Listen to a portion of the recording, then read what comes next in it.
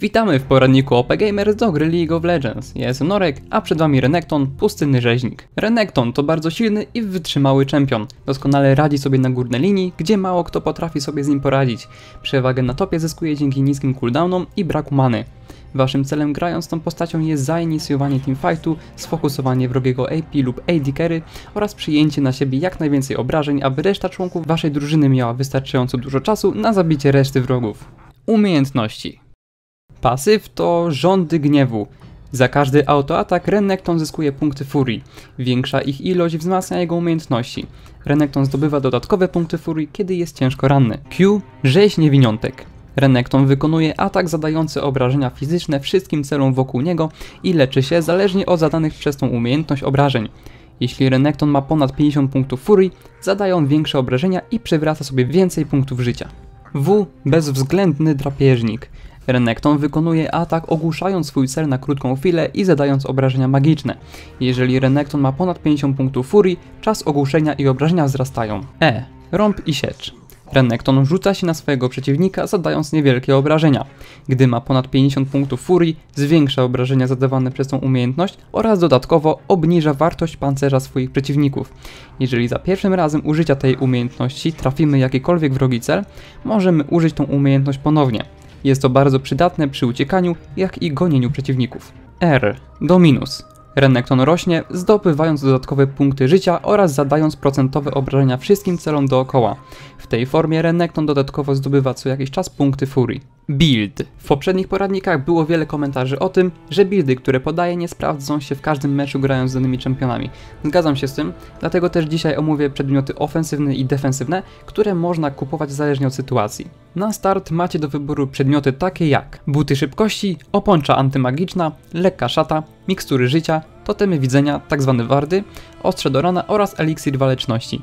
Zależnie od waszego przeciwnika wybierzcie mądrze któreś z tych przedmiotów. W dalszej rozgrywce ulepszamy buty szybkości do obuwia Merkurego, Tabi Ninja lub ioniańskich butów jasności umysłu, zależnie od tego jak i przeciwko komu gramy. Przejdźmy teraz do przedmiotów ofensywnych. Zacznijmy od czarnego tasaka. Polecam kupować go w każdym meczu, jednak sprawdza się on najlepiej, kiedy musimy walczyć przeciwko czempionom z dużą ilością pancerza.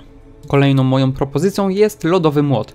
Można go nazwać przedmiotem uniwersalnym z racji tego, że daje nam sporą ilość punktów życia i 30 dodatkowych punktów obrażeń. Lodowy młot spowalnia również nasz cel o 30% w przypadku, gdy uderzymy go podstawowym atakiem. Dobrym wyborem, jeżeli mówimy o przedmiotach ofensywnych, jest także krwiopijca.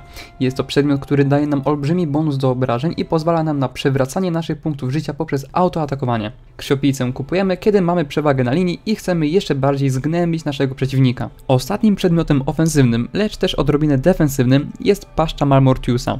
Oferuje ona nam 55 punktów obrażeń do ataku, 36 odporności na magię, biernie daje 1 punkt obrażeń od ataku za każde 2,5% brakującego zdrowia oraz tarczę, gdy nasze życie spadnie do 30%, która pochłania 400 punktów obrażeń magicznych. Jeżeli zaś chodzi o przedmioty defensywne, to obowiązkowym zakupem jest słoneczna peleryna.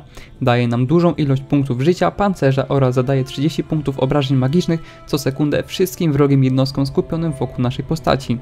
Bardzo dobrze działa razem z naszą super umiejętnością, którą opisałem wcześniej. Włócznia Atmy jest przedmiotem uniwersalnym. Przedmiot ten oferuje nam 45 pancerza, 15% szansy na trafienie krytyczne oraz biernie zadajemy dodatkowe obrażenia od ataku równe 1,5% naszego maksymalnego poziomu zdrowia. Przedmiot ten bardzo dobrze sprawdza się w parze z plemienną zbroją, która daje nam 1000 punktów zdrowia oraz co 5 sekund przywraca 1% maksymalnego poziomu zdrowia. Proponuję także pomyśleć nad zakupem Omena Randuina.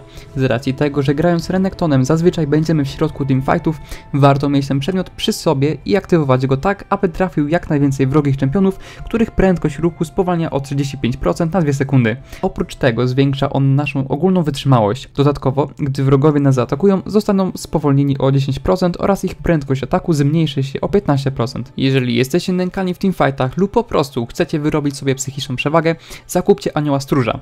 Daje on wam 50 pancerza, 30 odporności na magię oraz po śmierci wskrzesza was, przywracając wam 30% maksymalnego poziomu zdrowia i many. Rozgrywka. A teraz przejdźmy do praktyki. W pierwszych minutach gry starajcie się jak najlepiej lasitować, czego już mam nadzieję nauczyliście się oglądając nasze poradniki. Po trzecim poziomie możecie podjąć próbę zabicia przeciwnika, oczywiście tylko w przypadku, kiedy macie pewność, że macie przewagę i wygracie wymianę ciosów. Jeżeli się nie uda, kontynuujcie lasitowanie. W sytuacji, gdy wrogi jungler was gankuje, użyjcie umiejętności pod klawiszem E. W taki sposób można sprawnie wyjść z krytycznej sytuacji. W moim przypadku użyłem również błysku w celu uniknięcia Q Lisina. Natomiast w odwrotnej sytuacji powinniście unieruchomić waszego przeciwnika w celu udanego ganku ze strony waszego teamu. Kiedy zdarzy wam się uciekać, a wasz przeciwnik na tak niskim poziomie zdrowia będzie próbował dojwować, spróbujcie wykorzystać umiejętności Rennektona tak, aby go zabić. Niestety Z postanawia iść na AF. Na zastępstwo przychodzi Lisin, nad którym mam przewagę w poziomie i ilości punktów zdrowia. Wykorzystuję to używając super umiejętności w celu zwiększenia swojej wytrzymałości, unieruchamiam go i zabijam. Pamiętajcie, że na wczesnych poziomach Rennekton jest bardzo silny, dlatego też podobne sytuacje powinniście wykorzystywać jak najczęściej. Kiedy już zdominujecie topa na tyle, że wasz przeciwnik albo nie będzie się pojawiał na górnej linii, albo po prostu wyjdzie z gry, pomóżcie liniom, które radzą sobie gorzej. W moim przypadku, po nieudanej akcji naszego botlane'a wraz z Katariną udało nam się zrobić to, czego naszemu teamowi nie udało się dokonać. Jeśli dobrze idzie wam gra Renektonem w danym meczu, w środkowej fazie gry powinniście być na tyle silni, że bez strachu będziecie mogli wejść na teren wrogiej dżungli. Nigdy nie wiadomo, jakie niespodzianki będą tam na was czekać. Nie bądźcie też zbyt pewni siebie. Renekton w dobrych rękach to maszyna do zabijania, ale nieprzemyślane akcje mogą skończyć się waszą śmiercią. Kiedy dochodzi do późniejszej fazy gry, gdzie teamfighty to norma, powinniście w nich chronić waszego AD czy AP carry oraz fokusować tych wrogich. Pamiętajcie o waszej umiejętności pasywnej. Ponad 50 punktów furii w teamfightie znacznie zwiększy wasze możliwości. Myślę, że to byłoby na tyle jeśli chodzi o to, co powinniście wiedzieć o Renektonie. Wasze umiejętności grania tą postacią wzrosną poprzez praktykę, dlatego wszystko czego się dowiedzieliście teraz na jego temat, spróbujcie wykorzystać w samej grze. Mam nadzieję, że poradnik wam się podobał i jeśli tak, nie zapomnijcie go ocenić i dać znak, jaką postać chcielibyście zobaczyć w następnym poradniku. Podzielcie się także swoją opinią na temat poradnika w komentarzach. Komentował Norek z ekipy OP Gamers. Zapraszam was też do obejrzenia naszych innych poradników. Trzymajcie się.